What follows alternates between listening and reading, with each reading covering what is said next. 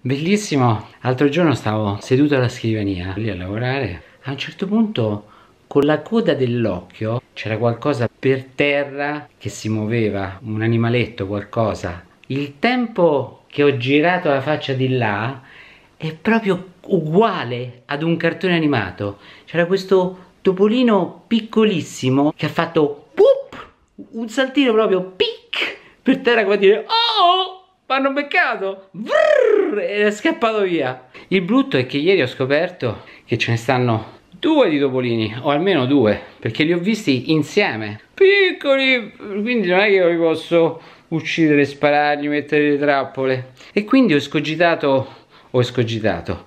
Ketty mi ha suggerito un metodo per fare una trappola semplicissima con la quale non fai del male al topo e eh, lo puoi liberare poi in qualche posto distante.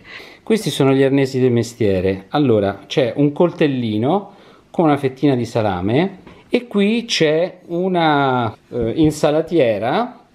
Allora, tu cosa fai? Disponi il coltellino qua su un piano, poi prendi questa bella cosona e la metti sopra in modo che si appoggi sul bordo sul bordo del coltellino su questa parte finale. Allora vediamo se sono capace. Ecco diciamo così. Dici mo quindi che succede? Succede il topolino entra dentro si comincia a rosicchiare la cosa e come sposta il coltellino lo tocca tac questo va giù lui rimane dentro, tu a quel punto senti dei rumori, prendi, vai fuori, vai in qualche posto qua vicino e lo lasci libero, di modo che lui può continuare la sua vita da qualche altra parte. Piazzo bene il coltellino, si regge in piedi nel momento che ci mettiamo questo sopra ed è fatto.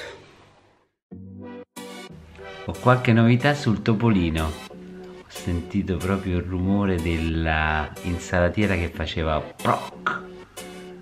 Quindi secondo me abbiamo un nuovo ospite. Non c'è più lo spessore che tiene alzato che tiene alzata l'insalatiera. Lo spessore non c'è più il coltellino è cascato e quindi qui dentro c'è qualcuno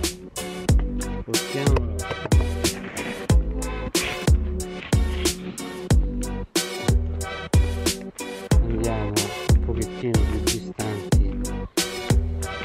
li piazzerei proprio qui. Proviamo a aprire e vedere se c'è il topolino dentro? Attenzione.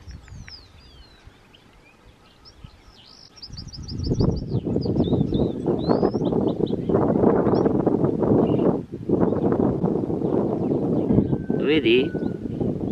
eccolo là